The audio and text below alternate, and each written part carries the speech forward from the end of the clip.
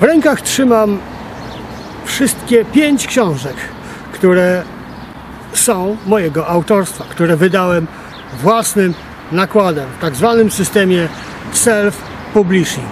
Ku mojej ogromnej radości książki te cieszą się dużą popularnością i zdobywają bardzo pochlebne opinie na portalu Lubimy Czytać.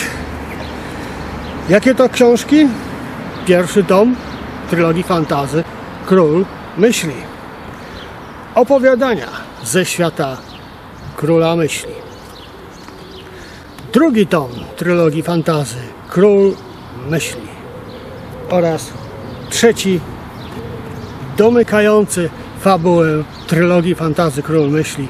Tom trzeci trylogii Król Myśli.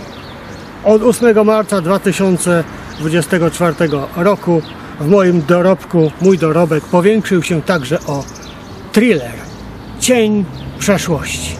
Zapraszam Was do księgarenki Marfisz.